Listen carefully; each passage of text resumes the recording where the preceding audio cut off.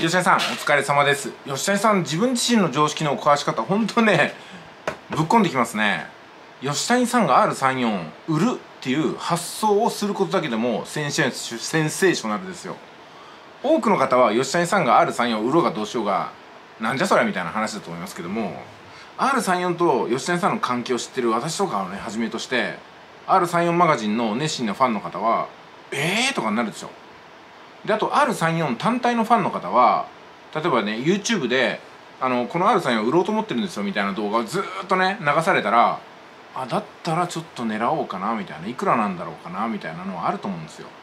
でそこでオークション起きるかもしれないですよね。業者さんがうち1800万うち2000万みたいな感じでね。で YouTube 更新しながら、えー、なんとかなんとかっていう会社は2100万つけてくれてますけどこれでいいですか？みたいな動画をどんどんやっていってね。で最終的に「うんやっぱりやめときますか」みたいなんでもずっとアクセス引っ張れたりとかするんでね 今結構いやらしいかなと思いますね。すごい。あちなみに私ねそのナイト2000ですね。あ吉田さんが R34 っていうんだったら私はナイト2000ですけども、えー、全てのメンテナンスができてね、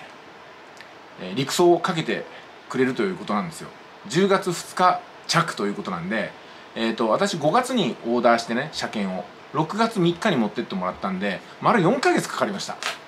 丸4ヶ月。ね1年が12ヶ月ですからこの4ヶ月は1年の3分の1を車検に要したってことですよ。で駐車場代は払いっぱなし。自動車保険も無駄払いっぱなし。なんじゃそりゃって話でしょ。まさに常識を超えたあの車の所有ですよね。でナイト2000がないからその途中で私はねあのあるあなたさんじゃないの。セールショー買っちゃったみたいな。そしたら私が車検預けてる会社の人も「あ本当だすげえ30の後期ですね」みたいなね「30後期ですね」みたいな感じで Facebook 見て送ってくれてね。これもねだから私も常識をちょっと外したかなっていうとこですね。車に関して。大体1人1台所有が常識だと思うんですよ。私大学生の時に同い年のまあ連れがねそいつはあのフィガロとグランツーリスモ両方新車で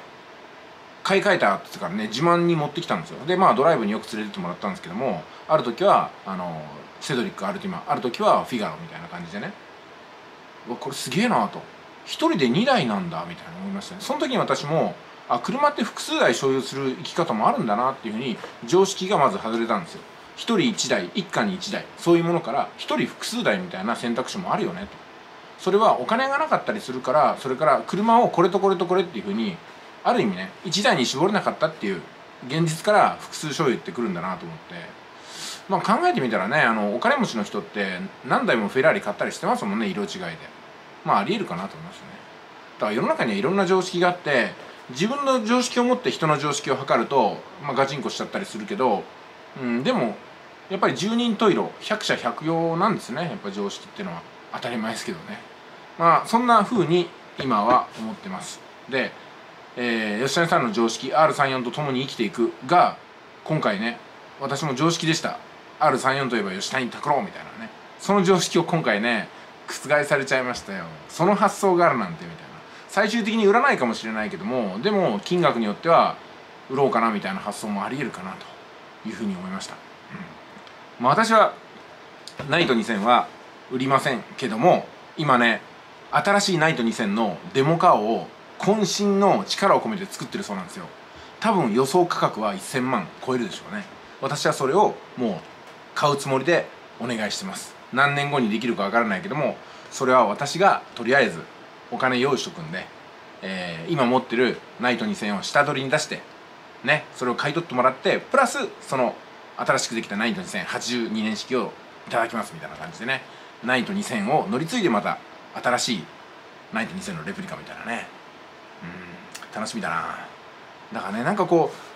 自由であるっていうのはお金と時間があるってことにすごく結びついてると思うんですけどもあの思ったことがそのままね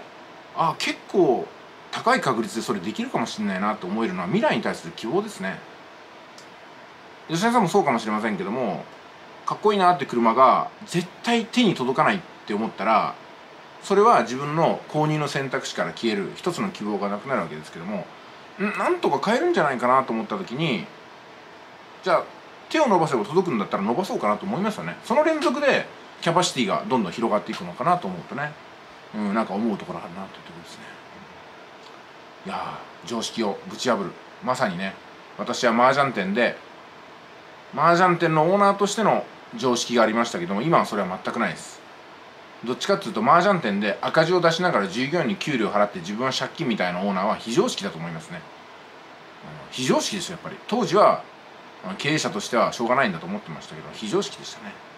今は会社経営は稼いで当たり前が常識。稼がなければ顧客還元もできないし新しい商品をリーズナブルに出すこともできないしね決算大報酬もできないし顧問先にお金を払うこともできないし何にもないですよね。ビジネスしてる以上利益は確保しなければいけないなと。改めてそういう常識に今とどまりましたね。はい。じゃあいってらっしゃい。